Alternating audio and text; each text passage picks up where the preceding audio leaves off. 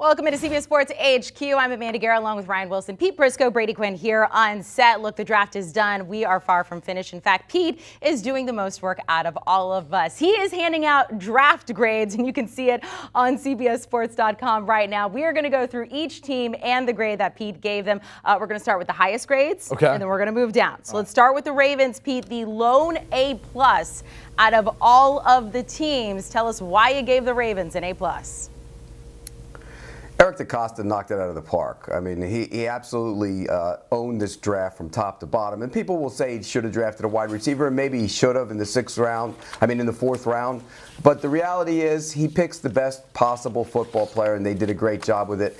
They started in the first round. I didn't love Kyle Hamilton as much as most people, but I love their second round, uh, their other second first round pick, Tyler Linderbaum, the center. He will be in front of Lamar Jackson for a long, long time. David Ojabo when he's healthy, wow. But Linderbaum was the best pick. But top to bottom, this was the best draft of the entire weekend. A plus. Yeah, it was good. You're, you're exactly right, Pete. And, and, it sounds like the Ravens had a lot of fun. Not quite as much fun as you had in Vegas by the sound of your voice there. I'm not sure you got up to, but I'm glad you're back home safe and sound. Uh, listen, we, we worked the draft till 10 p.m. and then Pete disappeared till 8 the next morning. You do the math. But in terms of what the Ravens did, I, I thought I think Pete's right. The questions are about the wide receiver, but uh, other than that, they got some tight ends. They got Charlie Kolar, who's a really good player out of State. They got Isaiah Likely out of Coastal Carolina, who's a really good run blocker and can also add in the pass game. And they even got a punter, Jordan Stout, the best punter in this draft class, not named Matt Araiza. He ended up going before Matt Araiza. But uh, to Pete's point, uh, the, the, Ravens do this each and every year. This team is a lot better, even if Lamar Jackson didn't seem super excited, at least in the first round, about how things unfolded.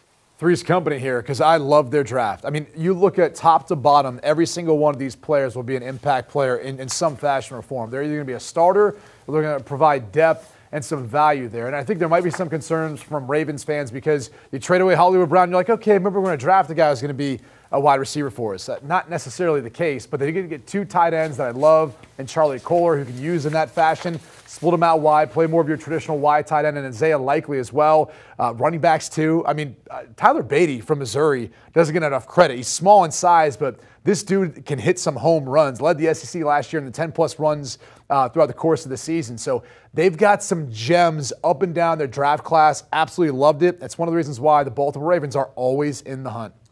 Ravens, again, the only A plus. Let's go to the Chiefs. So not far behind them. Pete giving the Chiefs an A. They had picks 29 and 30, but they did move up, made a trade with the Patriots uh, to move up to 21 to get Trent McDuffie. Ryan, we'll start with you here. Do you agree with the A for the Chiefs?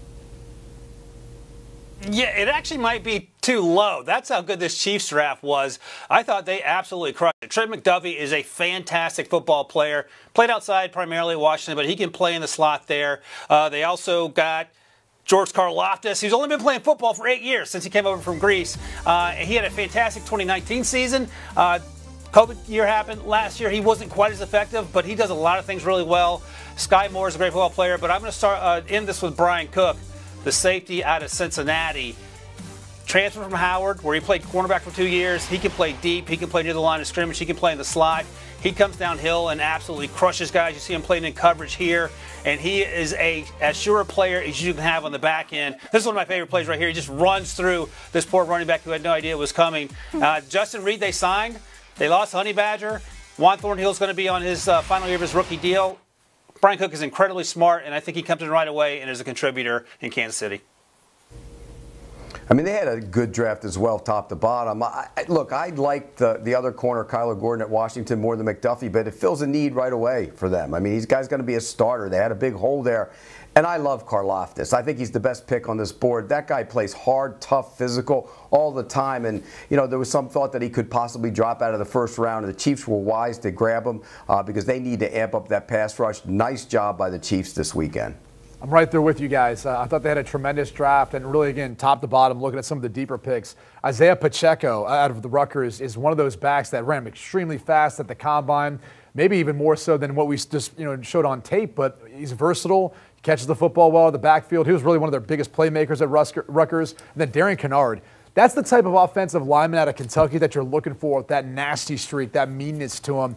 They could use some of that in Kansas City. You get the feeling sometimes because they're so pass happy, because they have a guy like Patrick Mahomes at quarterback and they want to give him every opportunity to throw the football, that you don't bring that same physicality to the offensive line he brings that. I wouldn't be shocked if he doesn't end up finding his way in to be a starter and bringing some of that nastiness to this group. So that's just a couple of guys, but once again, a front office that did an unbelievable job building around uh, Patrick Mahomes and really creating a roster that's going to be there to compete for Super Bowls every year. The Chiefs getting an A from Pete, as do the Jets. Look in their first round, they got a whole bunch of people. Sauce Gardner, Garrett Wilson, uh, traded up to get Jermaine Johnson, and right off the bat got Breece Hall there in the second round. I talked to Emory Hunt. He said, I think this is a more talented roster than the Patriots. I don't know what you think about that, but what do you think about the A for the Jets? Uh, no, I think it's fair, especially with what they did in the first round. I mean, you checked off so many boxes that you needed. You needed a cornerback, you needed a big playmaker, wide receiver, especially considering that now kind of throws out the window getting Deebo Samuel to come in, right? You get Jermaine Johnson too because you need help off of the edge. And you get Breece Hall coming in there uh, as a running back to help take some of the pressure off Zach Wilson. Jeremy Ruckert uh, is going to have a better NFL career than he had a college career because of that offense at Ohio State. I mean, top down again at every single level. You either have impact starters immediately or guys who are going to add depth and add to this group. But Garrett Wilson's the one that stood out to me because I think that year two with Zach Wilson, the way year one looked, you needed to get him a playmaker. You needed to find him someone that he can rely on within this group to make some plays downfield and see what you have in Zach Wilson. I mean, nowadays, too, after that third year, and I know we're a couple years away from that, you have to make that big decision on the fifth year option. I think after year two, they're going to have a pretty good idea of what Zach Wilson is because of the weapons they've given him. I'm with you, Brady. I, I, thought they did an outstanding job, job of trying to build this around that quarterback. Uh, one knock, uh, you know, maybe at some point take an offensive lineman a little earlier. They have questions at the right tackle position, but uh, I like what they did. And, and the best thing they did was I know there was some talk about trading that number 10 pick to San Francisco with some additional picks to get Deebo Samuel. This will work out well for them because Garrett Wilson will play and play well, and he'll be a lot cheaper. So I thought they had an outstanding draft as well. During the draft how uh, me and BMAC were, were more on the trade for Deebo Samuel wagon, and you you felt they should go with Garrett Wilson. I think you're right. Garrett Wilson is going to be a really good football player, and, and as Brady noted, now it's Zach Wilson's turn to prove that he is worth being that that top. Uh, that number two overall pick that he was last season. Uh, last season was rough for him for a lot of reasons. You have to hope Mekhi Becton comes back and, and can fill that left tackle void. They do have uh, Max Mitchell there. He's not going to be able to, to pencil in a left tackle anyway, but he'll provide some depth. But again, it comes down to, to Zach Wilson turning the corner and, and bringing it all together in year two. All right, let's go to the Eagles next. Pete giving them our first B. It is a B plus. Uh, look, Pete, the biggest thing that happened during the draft was they got AJ Brown. Uh, you gave them your best pick as Jordan Davis, your worst as Nakobe Dean. So why the B plus for the Eagles? I really like Jordan Davis. I, I, think Jordan Davis is going to be one of those players that is actually better in the NFL in terms of his ability to rush the passer. Uh, you saw glimpses of it at Georgia. There were so many guys getting up the field. They blitzed so much that uh, I think when he gets to the NFL, you'll see a better pass rusher from the interior. They needed help there. Fletcher Cox getting up in the years. Uh, and then they made the trade to get, you know, Brown. I mean, that's big for them. That gives them another big body receiver, a guy who can go up and catch the ball, and somebody who they can help build this team around Jalen Hurts to find out if he's the long-term answer. So, uh, Dean, the reason I ping him, and I think at the third it's okay, uh, but that body, I mean, he's a little guy, and his body's already starting to break down. That's always a concern uh, when you take a lot, of smallish linebacker when his body's starting to break down, even before he gets into the National Football League. All right, let's go to the Cowboys. Pete Prisco giving them a B plus. Uh, it was interesting to watch Cowboys fans on Twitter. Uh, they did not love Tyler Smith in the first round. Pete said, "Look, he doesn't mind that though." What do you think uh, about the B plus for the Cowboys? well, I'll start off by saying this: for the team that was the most penalized last year, to then draft a player that yes, it's a need. Tyler Smith, I think, is an athletic tackle. He's got a physical presence not a finished product by any means, but he was flagged, I think, once per game. So you're only bringing on more problems there than Tyler Smith. I think it was a good draft. My favorite pick, honestly, was Sam Williams, who's going to be an edge rusher out of Ole Miss. I think he may provide some of uh, what they're going to lose out on Randy Gregory moving on to the Denver Broncos. A lot of upside. He's got burst off the edge. I think he's just hitting the tip of what he can be uh, as an edge rusher in this Dallas Cowboys defense. And you know Dan Quinn will coach him up. A couple other nice picks, too, in my opinion. Jalen Tolbert, one of the more underrated wide receivers, too. Maybe that helps a little bit with that Amari Cooper loss, trading him to the Cleveland Browns. And then Jake Ferguson very reliable tight end. You know where he's going to be. He's one of those sticks movers, uh, and, and, he's a guy that's going to fit into that mix as well as far as being able to block at the point of attack and catch the football down the field. So there's not a, a, lot of needs on this Dallas Cowboys roster. I think that's what makes it difficult, especially when you draft an offensive lineman from uh, you know a non-power five team, and he may be a little obscure to people, even though if you watch the tape, he's got a lot of upside. I mean, he could be a guy who's going to be help paving the way for Dak Prescott in that backfield for a long time. A team with a few more needs, the Lions, but they also get a B plus from Pete Prisco in the draft. They landed Aidan Hutchinson second overall. They traded up Ryan to get Jameson Williams. Do you agree with the B plus for the Lions? I, I sure man, and I agree with the the uh, the decision by the organization to trade for Jameson Williams. We've talked for weeks, probably months now, about how Jameson Williams would be wide receiver one had he not torn his ACL. He's ahead of recovery. It looks like, and he'll probably be ready to go, perhaps in November or sometime around then. But you're planning on having him long term, even if it's only for half of this season, maybe something less than that. Uh, I love that pick. The Aidan Hutchinson pick feels like a layup to me. But the the pick that I love the most was Josh Paschal out of Kentucky, the edge rusher there, who's 6'2 and a half, 268, ran a 4'7'7, insanely athletic with a 37 inch vertical. And he doesn't look like your prototypical pass rusher necessarily, but you see him shooting gaps there. He did that consistently on tape. He's quick off the snap, he uses his hands well, he's incredibly disruptive in the backfield. I mean, that's something that if you're Dan Campbell, you have to be uh, frothing at the mouth to get into Detroit. That's exactly what they did. And I think he's going to be a better pro than he was in Kentucky because he was just sort of figuring things out. Uh, you see the high motor on the backside. He did that consistently as well when you saw him. I, I love that fit in Detroit. I love that fit with Dan Campbell. We talked over and over here on HQ how the Packers had not drafted a wide receiver in the first round since 2002. At some point, our mocks had them taking two in the first round. Didn't happen until the second round. So we're still on track with the Packers here. Pete, you're giving them a B plus. Why? Well, I think they were true to their board. I mean, you know, people want to say, oh, you got to go get a wide receiver, but if your board shows that you like Quay Walker, who I really like, uh, the linebacker out of Georgia, and Devonte Wyatt more, uh, then you go get them. And then you wait to get your wide receiver, which they did. They traded back up in the second round and got uh, Christian Watson. Uh, I think they drafted a couple other wide receivers. Zach Tom is an interesting player out of Wake Forest who I really like. Uh, I think they had a really good draft, and they waited and were patient and didn't rush the wide receiver. So, uh, again, the Packers seem to get it. I know people criticize them for not taking wide receivers. They did take three of them in this draft. With Rodgers, I guarantee you two of them will be players at some point this season. When we didn't touch on Christian Watson, they did take a wide receiver. Yeah, they did. He is a guy that I think when you I look said at that. We, we heard you say that, but a little more in depth. You know, the guy they take in Christian Watson, like they found Davante Adams in the second round. Watson's got a lot of the skill set that you're looking for as far as top end speed. We saw that in the 40.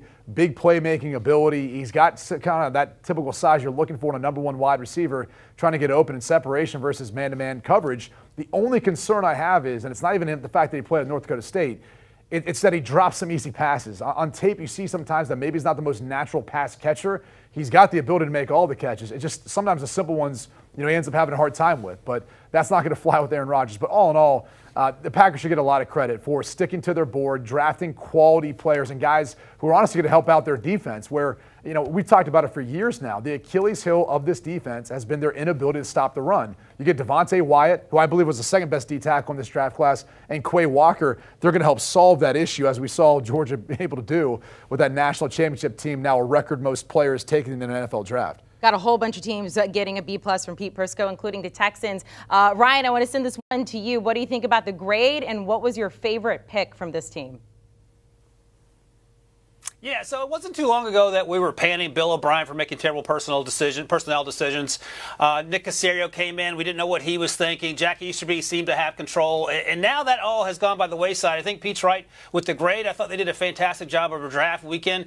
No one really thought Derek Stingley would be an option until a few days before the draft, and that buzz sort of took off and it actually happened. But, but the pick that I like the best is one of Pete's favorite players in this whole class, Jalen Pitre, the safety out of BYU. Plays in the slot, can play in the box, can play along the defensive line if you want him to. He's incredibly versatile, incredibly smart, academic All-American at points during his time at Baylor. Fantastic athlete who helps you immediately on, a defense that's not very, really very good, but they did a great job uh, of stocking that defense through the draft, starting with Stingley. I think Pitre's right up there. He could have been a first-round talent.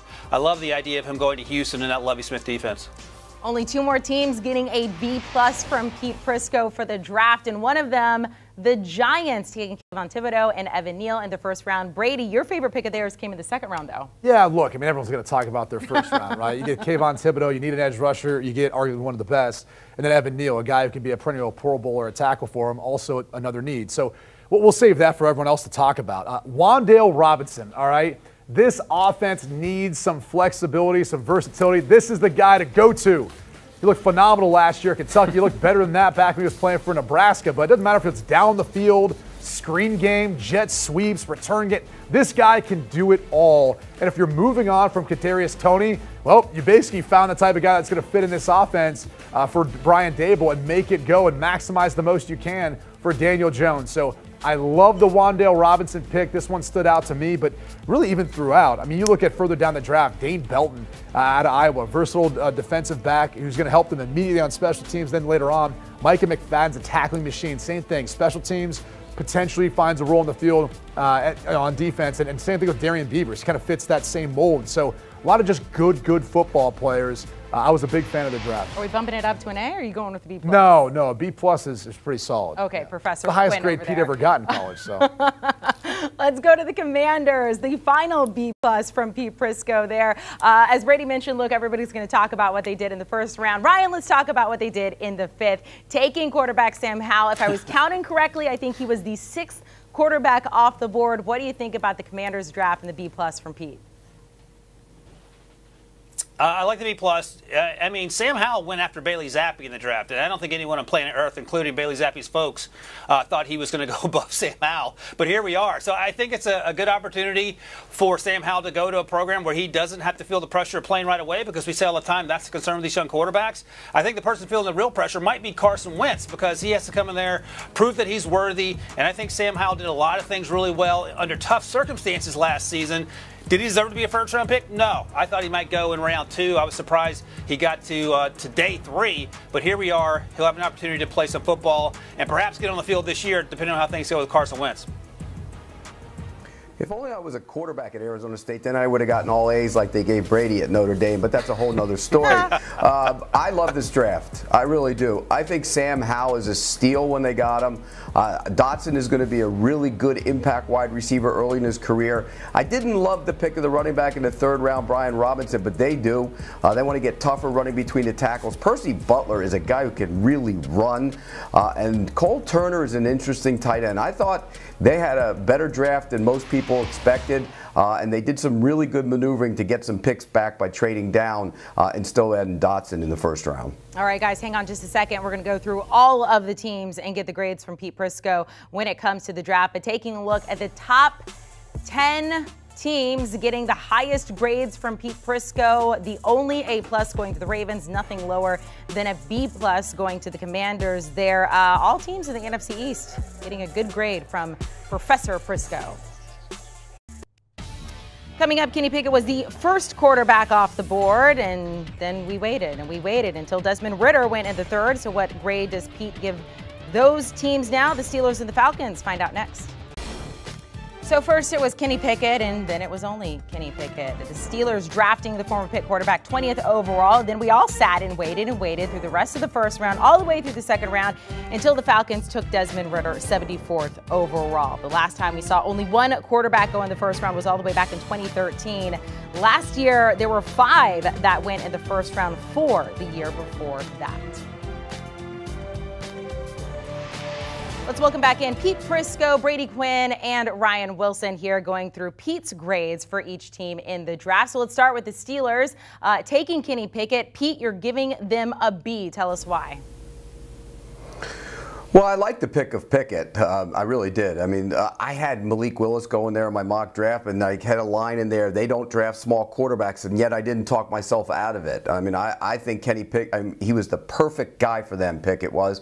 He was that guy you could put in there. He'll compete for the job right away. Uh, I love the fact that he knows which way to go in the building because all he had to do was go one way or the other way. Now he's going to the left where he used to go to the right where the pit facility was. So it's a great pick. I didn't love the pick of Pickens by the way. Uh, the big receiver out of Georgia. I like the pick of Calvin Austin uh, later in the draft, the little wide receiver from Memphis. We know what the Steelers could do with fast, shifty wide receivers, and that's what Austin is. So to recap, uh, Pete doesn't like small quarterbacks. He loves small wide receivers. Doesn't like big wide receivers for big quarterbacks. Got it. Uh, I love the George Pickens pick. Speed, baby, because, speed. Uh, Pickens is fast. What are you talking about? I love both these players, but I think Pickens. the thing with, with Pickens, and we talked about this, Pete, is that yeah, he does. The issue is the the maturity stuff, and I, I get it. And if you're going to go to a place, Pittsburgh is a place to go to if you might have some sort of off-field maturity issues. Uh, Calvin Austin, I am with you, Pete. Even though he is small, I do love him. And the concerns with small receivers are durability.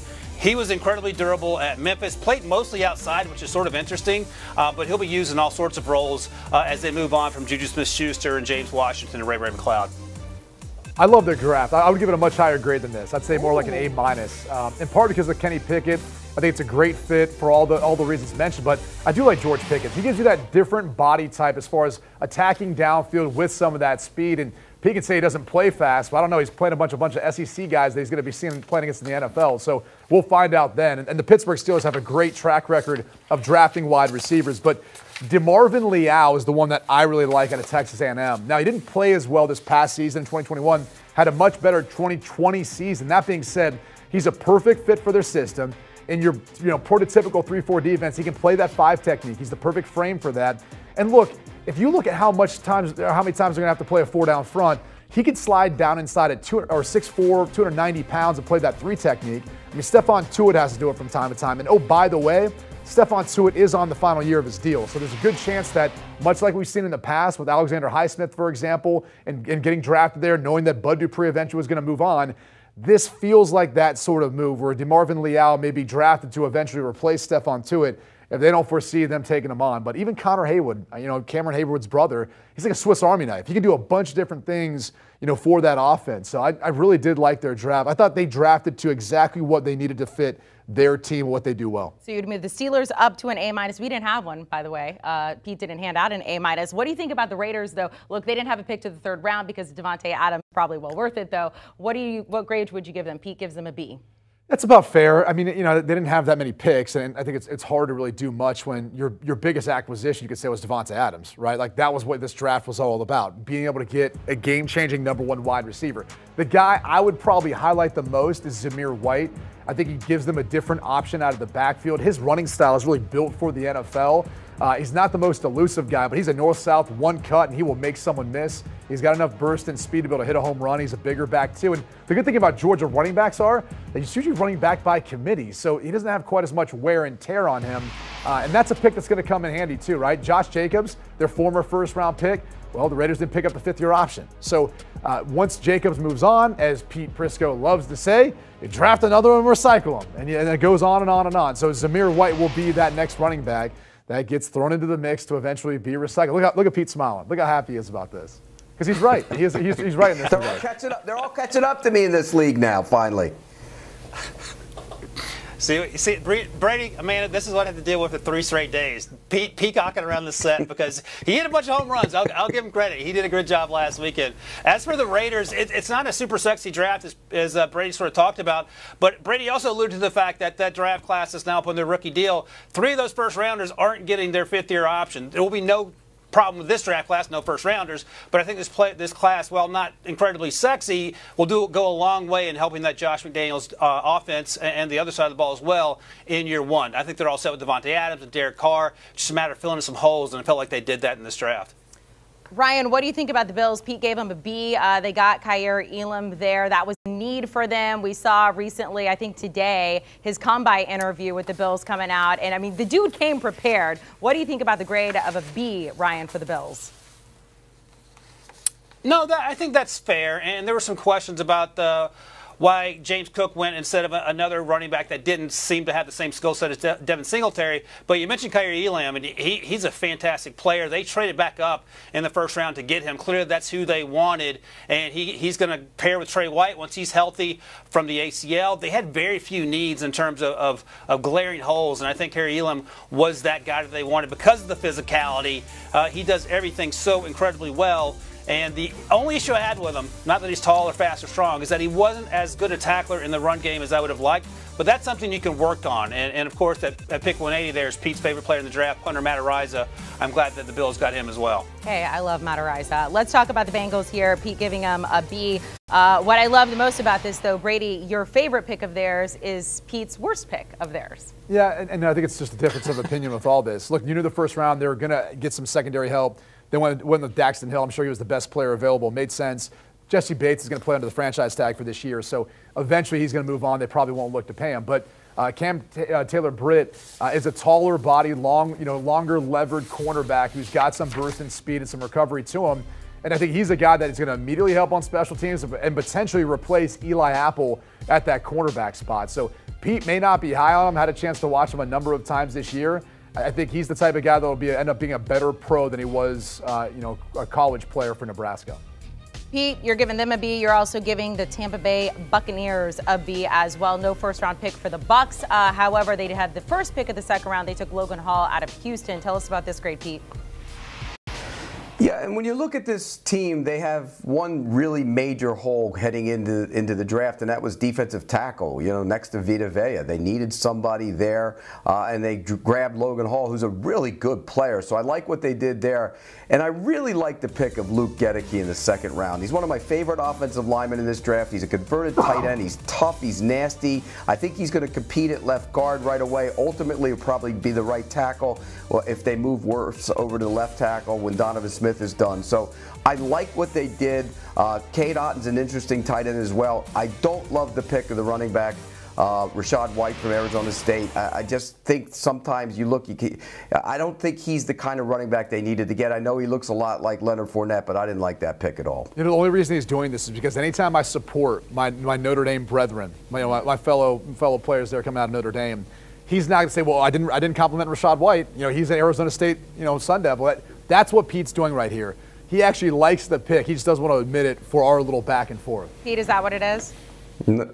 No, that's not what it is because believe me, Arizona State doesn't have very many players who got drafted. So when they do get one, I'd like to compliment him. And he's not a bad player. I just don't think this was a good pick for the Bucks. All right, we're moving through these teams. Let's go to the Saints. The last B from Mr. Professor Pete Prisco there. Mr. Honey Badger now headed to the Saints. Uh, but they did trade up. They grabbed Chris Olave. What do you think about this grade for the Saints? Well, I love the player. And, and I think I maybe know a little bit what's behind the grade. I mean, they only had, what, five draft picks or selections this year. But it was a need. I mean, bottom line is we don't know what to take from Michael Thomas. I think those two paired together, Chris Olave and Michael Thomas, two Buckeyes, uh, could be explosive for Jameis Winston. Uh, but not knowing what to expect, you know, you went ahead and you drafted a need, a tackle Trevor Penning, great spot. Olave is the one that's going to make the biggest difference, in my opinion, as far as whether or not this offense goes. They need someone on the outside to help take the pressure off Alvin Kamara in the backfield, uh, and he's going to be that guy. He's a refined route runner. He's got some of the best hands you're going to find. Uh, now, he's not the biggest guy, but he's a burner, and that's what you need in today's game the ability to separate. So I, I love the pick.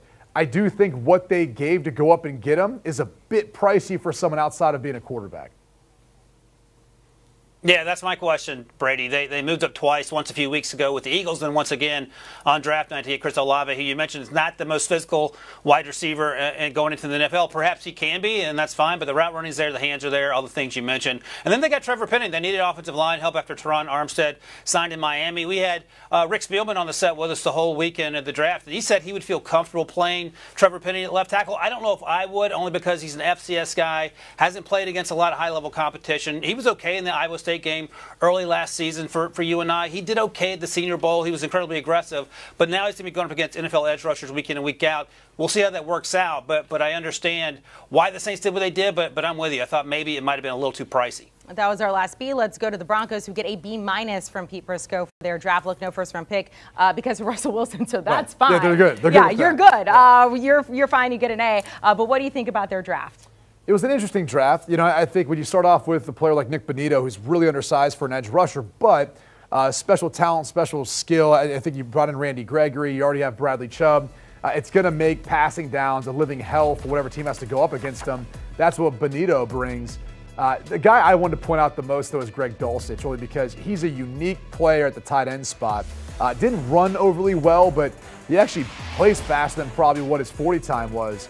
Great hands, former wide receiver, good route runner uh, to go along with that. And you know, traditionally hasn't been a position that the, uh, I should say, Russell Wilson back in just Seattle utilized heavily. Uh, but you go add this passing option in there amongst all the other weapons that they have there in Denver. It's a dangerous combination. So he's not the type of guy you're going to put in line, have him block a ton. He's a willing blocker, I'll give him that. So you can throw him somewhere on the line of scrimmage, have him cut off the backside. But he is another weapon for Russell Wilson and one that's versatile. Split him out, put him wherever you want. He's going to catch the football for you. Uh, Ryan, let me ask you this. The Falcons also getting a B plus from Pete Prisco there. We did end up seeing Desmond Ridder finally go to them in the third round. What do you think about a B minus for the Falcons, Ryan? No, I think that's right. And I think this is a great fit for Des Ridder for much of the same reasons we were talking about Sam Howell going to Washington. No pressure to play right away. He is basically a Marcus Mariota clone, uh, very similar in their styles. Uh, I think Marcus Mariota is a little more fluid thrower, but that's something that Des Ridder can work on. And he doesn't have to play right away. But the pick that I liked the most uh, out of all the picks they had, and they did some they did some really good things. I thought over the weekend was Tyler Allgeier, the running back out of BYU. He reminds me a lot of James Conner. He ran about a four six five, I think. Plays so much faster than that. Uh, he's incredibly strong. He can run between the tackles. He can bounce it outside. You're not going to arm tackle him.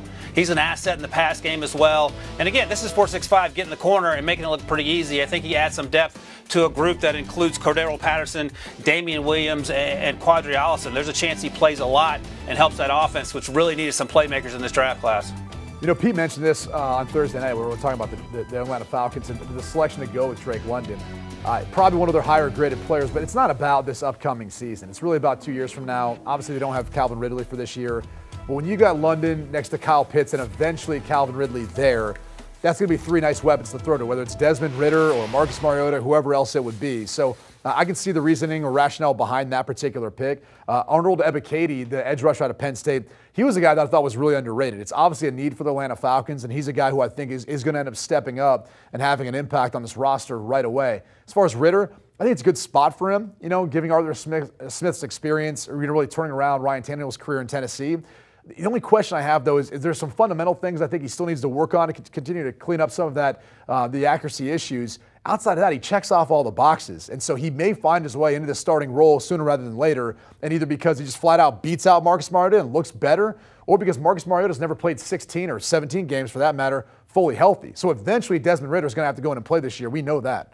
Pete talked to us about the Jaguars. Once again, they had the first overall pick. No surprise. It was a terrible surprise. They took Travon Walker. They did trade up to get Devin Lloyd. A lot of people like them taking Chad Muma as well. Pete, why a B minus for the Jags? Well, I wouldn't have taken Walker, first off. I would have taken Evan Neal. I think he'll be the best player in this draft class. And I think this had to be a year about building, uh, you know, a, a, whole offense around Trevor Lawrence. Know, they've done some good things. They could have continued to do that. Uh, Walker's going to be a good football player. I don't think he's ever going to be a dynamic pass rusher. He's a tough physical player. I like the pick. I like the player, but I would have gone in a different direction on the offensive line. Devin Lloyd, I do like. I think that was aggressive to go up and get him. Now, when you look at what Mike Caldwell's going to do, he's going to have two run and chase linebackers. You remember they played paid Oluokun a lot of money to, from Atlanta to be the other linebacker. Uh, it'll be a lot like Tampa Bay with Devin White and Lavonte David. I can't figure out why they picked Chad Muma. I can't. He's a good football player. He's an interesting football player, but where's he playing? You don't play three linebackers unless they're going to put in special packages uh, when Lloyd puts his hand down on the ground, which he's been apt to do. Uh, I don't know when how much Chad Muma is going to play. I didn't like that pick, and I think they could have used a tight end as well at some point in this draft. So that kind of dropped the grade down a little bit. All right. yep. No, I'm with you, Pete. I think that's exactly right. Oh, sorry, Amanda. Nope. Go for it. Go for it. I was waiting to hear from you. Oh, good, because Noah didn't get in my ear, even though it says in the rundown that I'm supposed to go. So, Noah, let me know. Uh, yeah, so I like Luke Fortner, the center. I thought he was an important part of the center part of that defense. And to Pete's point about Chad Muma, I, am with you. Chad Muma's a fantastic player. He tested off the charts, played really well at Wyoming.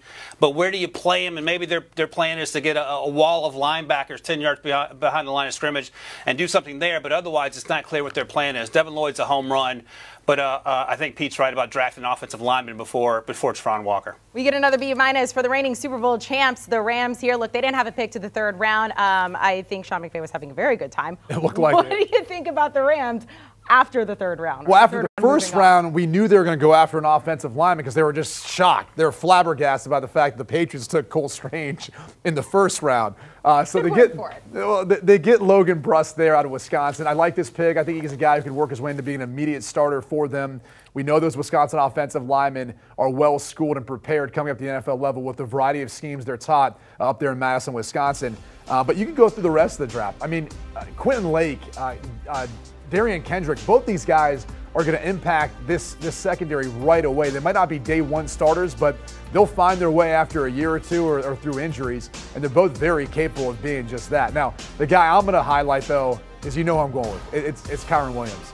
Versatile back. Shocking. I think he that takes off a lot of pressure on Cam Akers, and he's a three down back. Anything you ask him to do, pass protection, catching the football out of the backfield, splitting out wide like a wide receiver and catching a touchdown pass like we're watching, he can do it all and he's the type of guy that I think is a perfect fit for the locker room and the type of character you're trying to build. So I know Pete's going to probably give me a hard time about it, but that's how much I love this kid. That's how much that team, the coaching staff, loves this kid. And I promise you, the LA Rams will not regret making that selection. If I took a gold can of spray paint and sprayed that Arizona State helmet gold, you'd pick me. I really believe that. I'd be I'd be a third round pick in your book. Did I tell you that he didn't love Kyle Hamilton either, but he still gave the Ravens an A. Oh, I know, I know. Yeah, we're just we don't even have time to go into that. Uh, let's talk about the Titans. Pete, this is where we finally saw Malik Willis go in the third round. They did say goodbye to AJ Brown in the middle of the draft. You gave them a B minus as well. Tell us about this grade. Well, I like what they did with A.J. Brown. Look, I like A.J. Brown, but I see it from an economic standpoint as well. Uh, A.J. Brown, better receiver than Treylon Burks. We know that, but he's not. How is he 10 times a better receiver in terms of the money? Probably not. And so they replaced a, a big physical receiver who runs better than Burks with Burks, who's another big physical receiver. So I like that. I really like Roger McCreary in the second round. You know, a lot of people pinged him for his short arms. You put on a tape, he's feisty, competitive in the SEC, does a great job. And you mentioned Willis in the third round. I think that's perfect for him. I think this is a perfect situation for Malik Willis. I think he can go in there, spend the year learning behind Ryan Tannehill, and if Tannehill busts out again, like he's done at key moments over the last couple seasons, then you can replace him and put Malik Willis in. So I think the Titans were solid. Uh, I think that there were some opportunities where they could have been better, but this is a solid draft. Pete, I will say so far, Brady and Ryan are agreeing with most of your grades, so apparently you are right all Pete, the time. Pete had a great draft. He really did. I would say that of, of all the people we've talked, and, and Ryan obviously has done a thousand mock drafts, a lot of credit to his hard work. Pete called it though, early and often, and he got it right. This was we've worked together for I don't know how many years now, eight years, and this was by far and away Pete's best draft. He's like a fine wine; he just keeps getting better with age. Oh! I, am I really hearing this? Is this coming through? I, I can't believe he just said that. Where's the shot now? Take the shot. We make sure we, we have this on camera. We'll get I, I said, confetti. If anything, it'd be a fine bottle yeah, of wine. There you Pete go. There you go. All right, you guys, hang on just a second here. Uh, look, all these guys at some point or another are on the Pick Six podcast. That is your home for all things NFL. Make sure to look for the latest episode talking about DeAndre Hopkins being suspended for the first six games of the season. So coming up, we're all wondering what the Seahawks were going to do in the draft. Would they take a quarterback? So many needs for this team. I will tell you, every team from here on out getting a C or lower, according to Professor Prisco. Seahawks fans excited? Huh? Now you got uh, Charles Cross coming in, left tackle. That was your top 10 pick. Uh, Pete Prisco did not think the Seahawks did that well.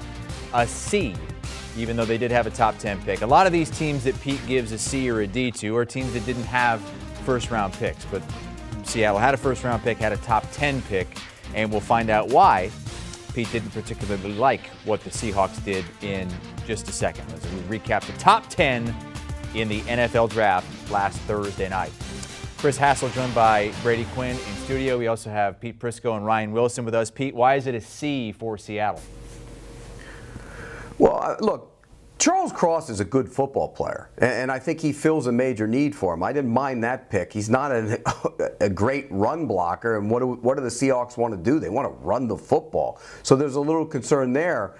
But again, I go back to the philosophy. Where are they? Are they stuck in the early 2000s, mid late 2000s when they want to run the ball and play great defense? Or are they are they going to start opening things up?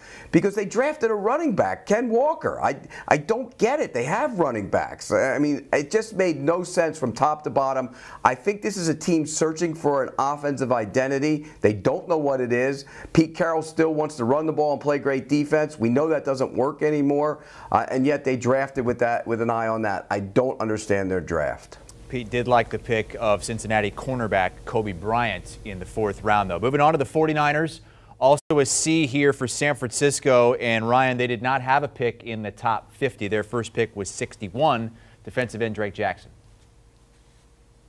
Right, they started the Jake ja uh, Drake Jackson, excuse me, and Mr. Irrelevant Brock Purdy at the end there from Iowa State. In between, the, the my favorite pick was Kalia Davis at UCF. Now, the issue with Kalia Davis is that he tore his ACL on November 21st, only played five games the last two years, but he is explosive. He's a spark plug in the middle of that defense. He's incredibly twitchy for someone who's 6'1", 302, and if he can stay healthy, he's going to be an impact player. They got late in the draft there. Uh, the pick before they got Nick Zakelj out of Fordham, an offensive lineman who admittedly struggled at the Senior Bowl, but he had a really good season uh, at Fordham. And then Danny Gray is probably the most explosive pick they got.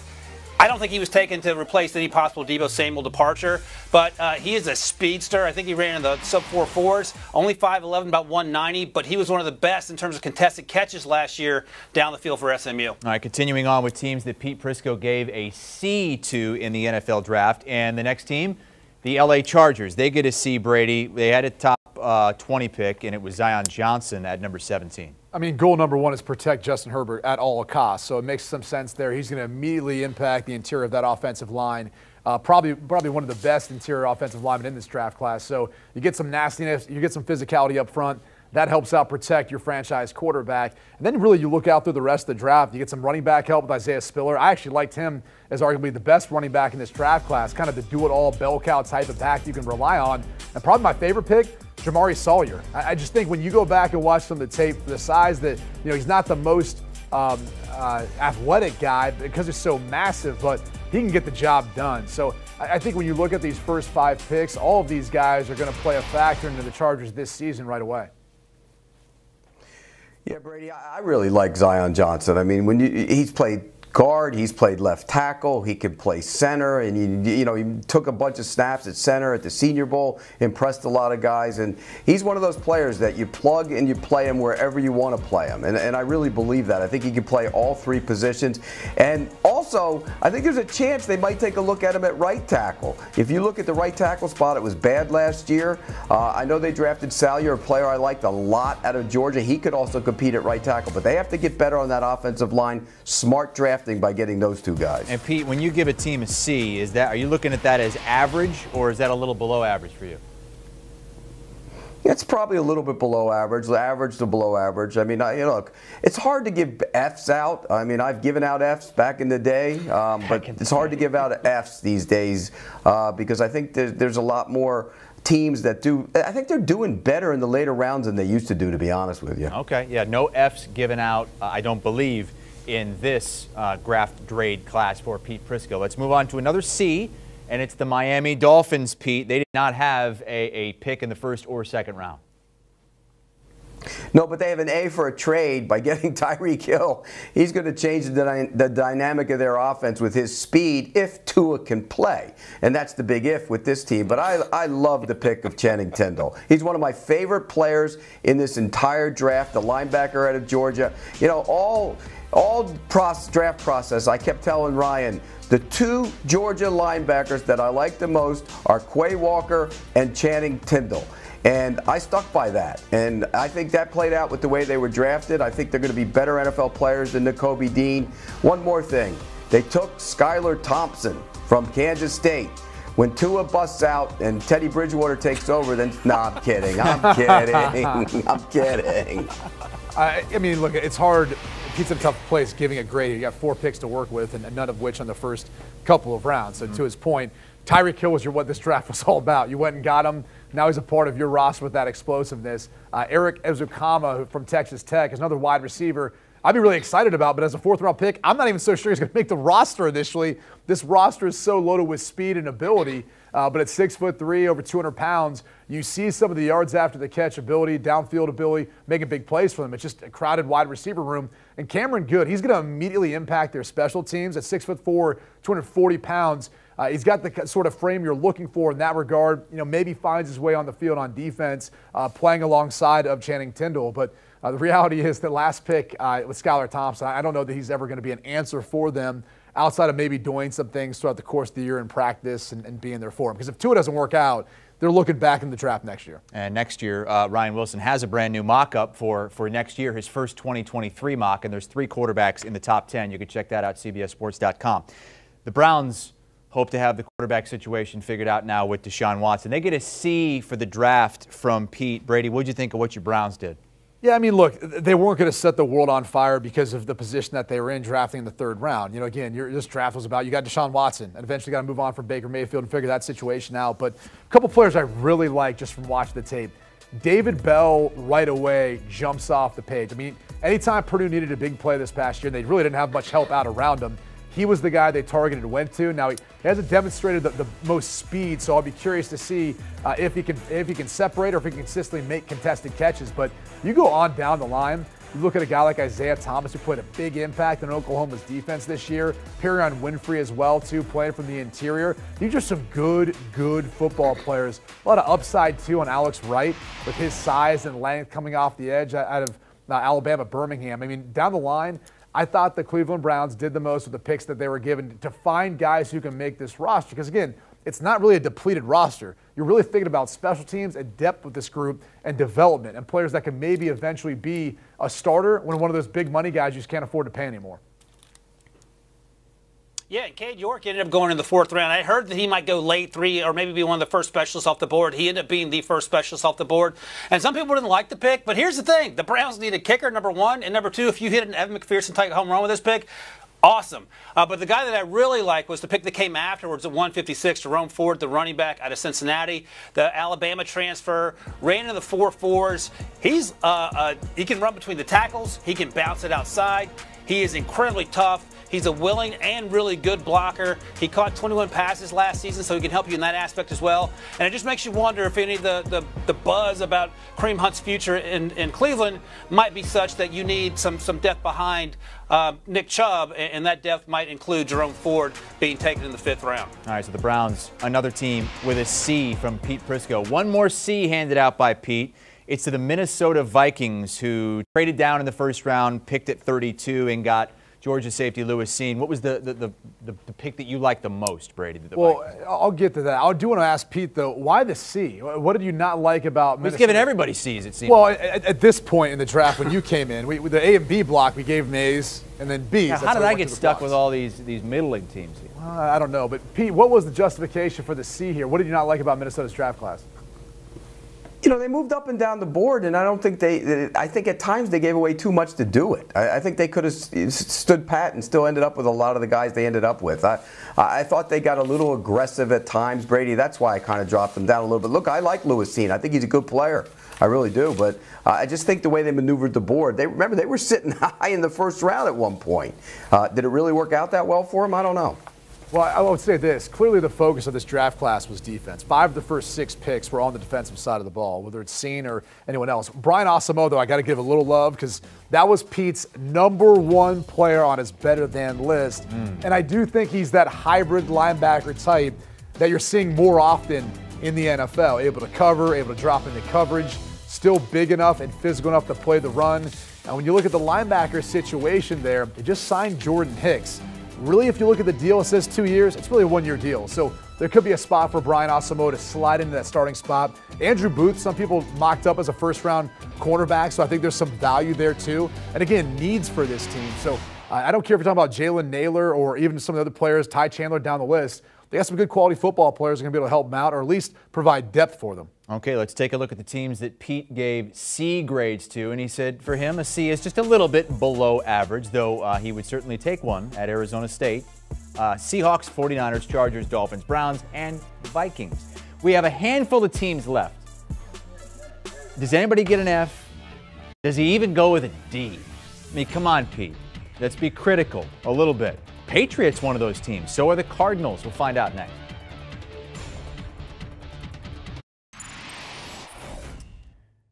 All right, we've got five teams left to grade in the NFL draft in 22. Chris Hassel, Brady Quinn, Pete Prisco, and Ryan Wilson. Pete's the one handing out the grades. When you take a look, Pete, at what the New England Patriots did, when you take a look at their total package, what grade would you give them? I didn't like their draft at all. I gave him a C minus. I, I, really didn't. And look, everybody sits there and says, "Well, how dare we question Bill Belichick?" Go back and look at some of his draft picks. I mean, seriously, he's had some bad draft picks, um, and they got lucky with Tom Brady. So that's it in a nutshell for him drafting football players. He's a great coach. I don't necessarily think he's a great personnel guy. Uh, I didn't really love the pick of Strange in the first round, the, the offensive lineman. Um, I did really like the second round pick, Tyquan Thornton the wide receiver out of Baylor. He will add a nice speed element to the offense. And in a shot just for Ryan, I wonder if Mac Jones will be able to reach him when he gets down the field.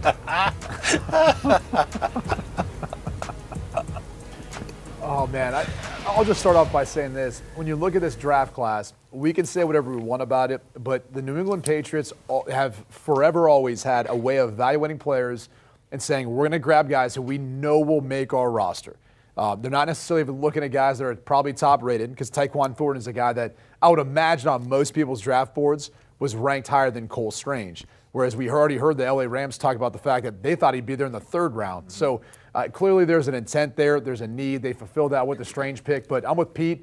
I love Tyquan Thornton. I think his up, you know, top end ability and speed. and He's raw as a wide receiver, so he's just getting there. But you can look on throughout their draft class. Marcus Jones and Jack Jones will both be impact players at some point on that defense.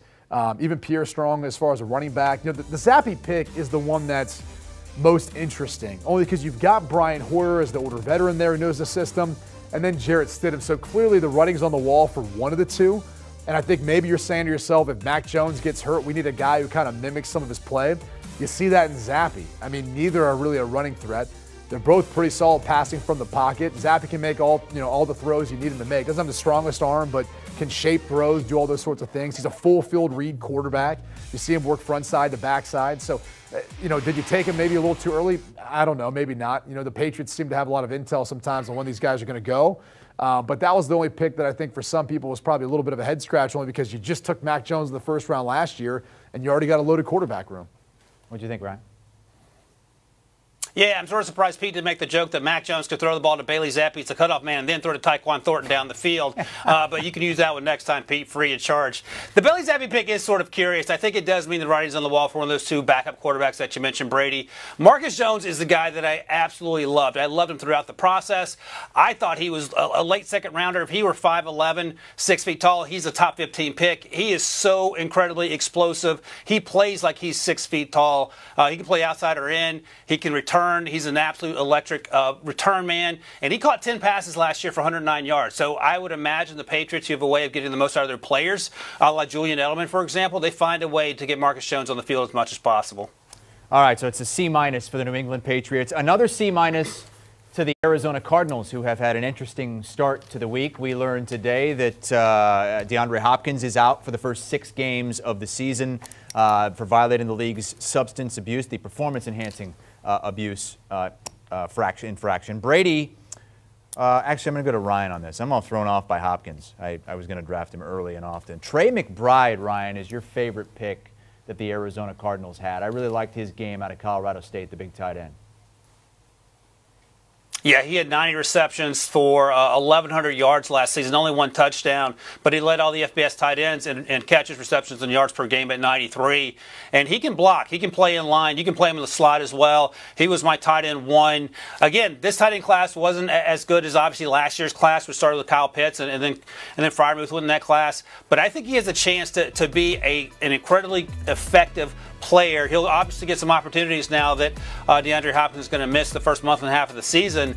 But he was the highlight for me in this draft class. That as Pete would probably tell you, wasn't exactly uh, super exciting. They, they fill some needs for sure, but I think McBride, along with Zach Ertz and, and Max, Max, Max, Williams, excuse me, gives Kyler Murray some middle of field targets, especially now that, that Hopkins will be missing for some time. And again, out for violating the league's performance enhancing substance policy. DeAndre Hopkins out, suspended without pay for the first six games of the season.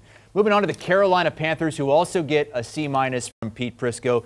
They did have a top 10 pick. They used that number six pick on Ickey. And clearly it was a need. Um, I think the problem becomes, you know, who's going to start in quarterback? We're still asking that question. You know, is it going to be Matt Corral, who you went up and got in the third round after not having a third round pick before the draft started? Uh, or, or, is it going to be someone else yet to be determined at this point? So we'll have to wait and see on that. But Ike Ekwonu clearly is going to be the prize of this class. They needed help on the offensive line. They're going to get it, even though he still has some developing to do. The other thing I think was the biggest takeaway was they wanted speed and they got speed. Whether it was linebacker Brandon Smith out of Penn State, who will be an immediate impact player on special teams and eventually maybe find his way on the field on defense. Amaré Barno is going to be one of those pass rush specialists. Really undersized, I think, when you look him at 6'5, 246 frame. He looks like he plays lighter than that, but blazing fast still needs to have a little more refinement with his pass rush skills. Uh, as he's kind of a one-trick pony with some of that speed. And then Kalon Barnes, he's going to come to the NFL at cornerback and be one of the fastest players. Uh, so clearly, they wanted more speed on defense. Uh, they get that in a variety of ways, but there's still the question of the quarterback position. We have graded 30 teams, we being Pete Prisco, not a single D or F yet, and still no D's or F's. It's the Indianapolis Colts, Pete, with a C minus. They didn't have a first round pick. Yeah, this was close to being a D, but I really like the second round pick, Alec Pierce, the wide receiver out of uh, Cincinnati. I, when you watched the Colts last year, the one thing they lacked was speed. They had none. They didn't scare anybody down the field. Team sat on everything. He can run. He gives them a, a guy who can get down the field with his speed, help open things up. Michael Pittman's a good receiver. He just doesn't run that well. Uh, I didn't like the pick of the tight end, Jelani Woods, uh, in the third round. He's a good player. Bernard Raimann, look, he better be ready to play because they have a major hole at left tackle. He's got to step in there. So I did not love their draft at all. I think they could have gone in a bunch of different directions. But the lone D goes to the Chicago Bears, the last team that Pete Prisco is grading here, and it's the Bears getting a D. They did not have a first round pick. They did get Kyler Gordon, the cornerback out of Washington, who uh, Ryan had him in the, the, the top uh, first round of his mock quite a bit, Pete. What, why did you dislike what Chicago did so much? No, I like that pick. I really do. I think Kyler Gordon's a good player. I would have taken Kyler Gordon ahead of Trent McDuffie, who went much earlier. So I'm okay with that. Here's my problem. The right side of their offensive line, Dakota Dozier, Larry Bur- Borom, that's not a good right side of an offensive line. It's okay, but you need to get better. And they waited too long to take an offensive lineman. That's my real problem with this draft. They didn't get any weapons either uh, on the outside. When you look at it, Velus Jones is more Velus Jones is more of a return man at Tennessee than receiver. So did you really help your young quarterback. These drafts, when you have a young quarterback, have to be about developing that young quarterback. I get it. They needed a corner. I'm fine with that. But did you really need the safety? You could have gone in a different direction there. I didn't love their draft at all. Uh, that's why they ended up with the D. And it's cakes. It's the icing on the cake. You pick the punter. Uh, Ryan Poles did say after the draft, Pete, that the reason that they went uh, with Kyler Gordon and then Jaquan Brisker was because that's how their draft board fell. And I know you'll sometimes criticize teams for, for you know picking beyond their means, and Poles didn't do that. But to your point, the offense isn't any better, and I'm sure that the, the quarterback, Justin Fields, was wondering when they were going to get a wide receiver. When they finally took one in Velus Jones, he's 25 years old, and while he was good at Tennessee, he wasn't lights out great, and uh, he only had to, that sort of caught on late at the Senior Bowl. So I think he'll be an effective player. Uh, I think he'll do some good things, but he's not a game-changing talent. I love the, the additions they made in those first two picks, but but as Pete has pointed out, the team's not better offensively, and that was hard to watch at times last year under Matt Nagy. Well, look, clearly this is what you do when you're a general manager in the NFC North. You just do not draft uh, wide receivers that high in the draft. You do not help out your quarterback in that regard, right? Haven't we seen that with the Green Bay Packers for a couple decades now? In all seriousness, I think if you stop the draft after their first three picks, I would have given this, this draft an A. Uh, they didn't have a first round pick, but you get first round value in a guy like Kyle Gordon. Uh, I, I know Kyler Gordon. You look at Jaquan Brisker he was one of the better playmaking safeties in this year's draft class. Great vision on quarterbacks, dropping into coverage, uh, kind of a ball hawk type guy who is a good tackler in open field. So I love that pick for their defense. And then Velus Jones, I think his best football is still ahead of him. Couldn't catch on really at USC quite the same way he did with making big plays down the field at Tennessee. And he, but he's very raw. And I, I, again, I, still think his his best play is ahead of him. But he's not drafted to really be a number one guy. He's more of a complement to that. So clearly there's there's some concern about Pete has about their offensive line, playmaking, building all of that. Uh, but you know, you draft what you draft, and Ryan Poles, you know, this is his first time doing it. Uh, he'll get more cracks at it, but it's, it's one of the reasons why Chicago Bears have largely struggled, is no one knows better than Chris Hassel, our host here. Ah, yes, lifelong Bears fan, and uh, I. Hey, Chris. I- I- yeah, go ahead. Hey, Chris. What? Real, Chris. Real What? quick. Uh, after this draft, Justin Fields probably uh, will scrap, scrub his uh, social media posts from all Chicago Bears Well, references. hey, Pete, don't I go mean, isn't- anywhere. Isn't that the trend nowadays? Yeah, Pete, don't go anywhere because you're. I think Randy just called us. You're gonna have to do a breaking hit after this in preparation for that. So I, I wouldn't leave the camera. Pete, what's up, man? I mean, Ryan Wilson's already got his first mock out for next year. When's yours coming? Can I pick it apart? Can I pick his mock apart? No. yeah, I'm why don't you come on I- I- Wednesday? We'll I do the four to at it. five hour on Wednesday where you just break down No, Ryan's that's mock. fantasy football. It's fantasy football Okay. Wednesday. Well, uh, tomorrow it's Pete Prisco's power ranking. That's right. So uh, we'll get you then. Fellas, thank you. Let's look at the worst grades handed out by Pete Prisco for uh, the draft. The Bears getting the only D, and it's a solid D. He said Colts were close to a D, but it's a C minus for the Colts, Panthers, Cardinals, and Patriots. The best grade given to the Baltimore Ravens, an A plus. Pick Six podcast with Will Brinson. Oh, Will Brinson's going to be busy on HQ these next few weeks with Pete Prisco, taking some time off. Will Brinson, joined by his uh, cast of characters, including uh, Ryan Wilson, John Breech, and others. Pick Six podcast. Download and follow wherever you get your audio. Do you want a sports network that delivers everything that matters about the game? The highlights, the picks, the instant analysis, no yelling, no fake debates, no politics. Hit the subscribe button and never miss a moment.